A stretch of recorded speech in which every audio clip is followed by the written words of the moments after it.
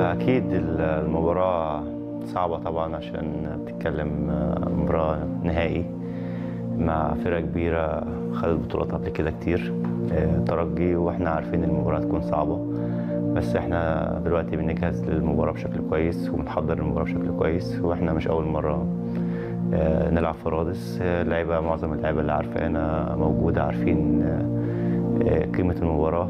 وعارفين آه، صعوبة المباراة وعارفين إن نستقبل هناك جمهور كبير هناك وعارفين إن المباراة صعبة عشان كده بنحضر من دلوقتي ولينا دور كلاعيبة كبيرة موجودة.